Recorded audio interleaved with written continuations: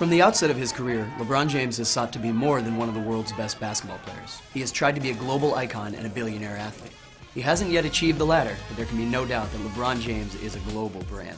Here's how LeBron the athlete partnered with a number of prominent companies to earn cred as LeBron the businessman. Even before he entered the NBA, James signed a $90 million endorsement deal with Nike. After being drafted first overall, he quickly picked up a number of other endorsement deals with companies like Coca-Cola, McDonald's, Microsoft, State Farm, Upper Deck, and Cadbury. Oh, it is awesome. Early in his career, LeBron moved beyond endorsements to investments. In 2004, James and his childhood friend Maverick Carter formed the marketing firm LRMR. They soon bought a 10% equity stake in Cannondale Bikes.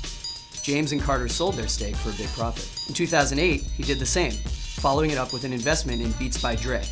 He got a small equity stake that would later bring LeBron some $30 million in profit when Beats sold to Apple this year. What up, Dre? 2011 was a huge year for the business of LeBron. James invested in the sports energy strip company Sheets. LRMR also partnered with the Fenway Sports Management guys, which brought LeBron an ownership stake in the Liverpool British football team. James also signed an Asia-specific endorsement deal with Dunkin' Donuts and Baskin Robbins. 2013 brought more LeBron business magic. He partnered with Chinese internet giant Tencent. Audemars Piguet put out a LeBron James watch. Samsung built an ad campaign centered around LeBron for their Galaxy phone. You in on Samsung? Yeah, totally. Maybe I'll do a cameo on the tablet. And they even created an exclusive LeBron app, which offered inside access to his life and routine.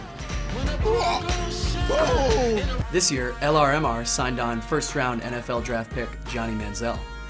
And LeBron's latest deal is with an innovative new sports marketing firm, Teneo Sports, who also recently signed on two other basketball players who know a thing or two about being a global business brand Kobe Bryant and Michael Jordan. As LeBron's business partner Maverick Carter told Fortune, LeBron is now at a size where he needs to be managed like he's a big company.